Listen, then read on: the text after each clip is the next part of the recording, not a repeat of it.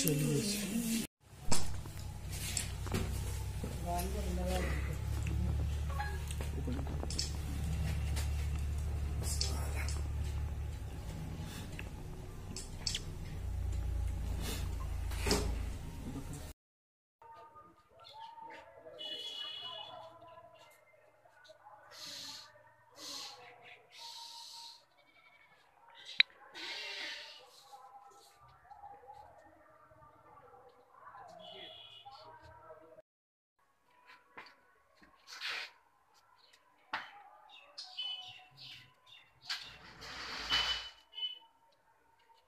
थोड़ा सा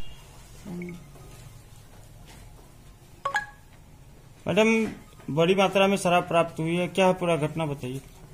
हम बनवा अ, थानाध्यक्ष पूरे टीम के साथ एक गश्ती में थे संध्या गश्ती में। तो सुगमा की तरफ़ से पिकअप भान आ रही थी।